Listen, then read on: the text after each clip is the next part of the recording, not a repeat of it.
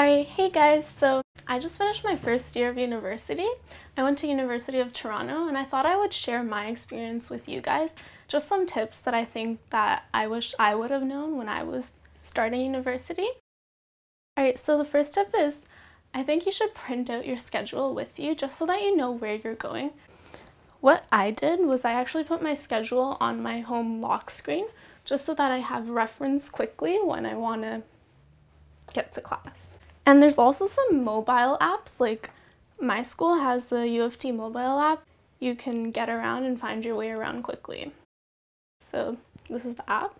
And it just has like a whole map of the whole campus and you just type in the search bar where what you're looking for and it tells you how far and how to get there. The second thing that I really recommend is attending your orientation classes. I know that a lot of people don't actually like going to these classes because they're like, oh, it's the first day of school, like, they're not really going to teach you much.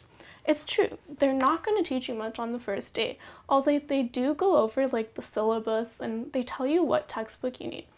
Also, for textbooks, I recommend that you not buy the textbook on the first day of class Wait until a week so that in case your prof changes the textbook, you're not stuck with like a $200 textbook. Regarding textbooks, check online in like Facebook groups because so many people, like old students who had their old textbooks, they put up their textbook.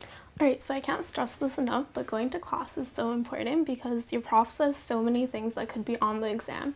I've had some profs before give little witty jokes in class and they actually had that on the actual exam.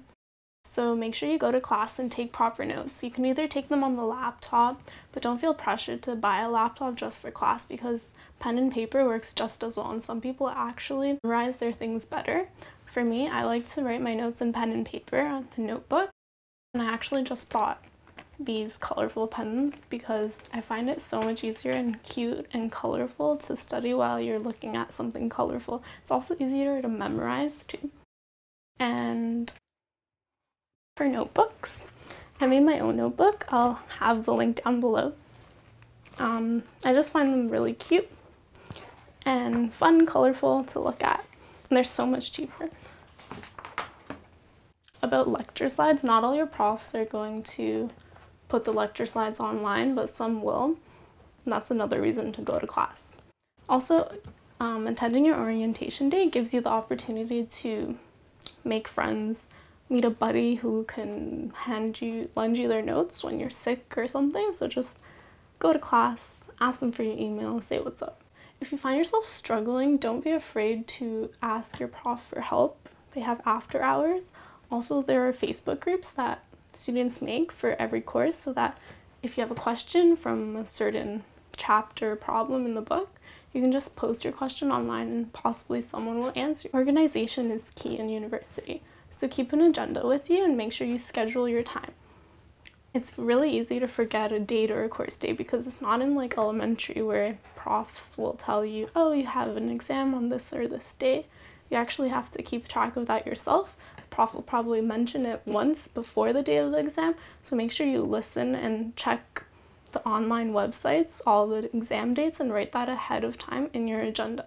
Also, um, universities, they usually have like a yearly timetable, so make sure you print that out because it tells you all the dates and deadlines of when you can drop a course or when you can add a course the last days.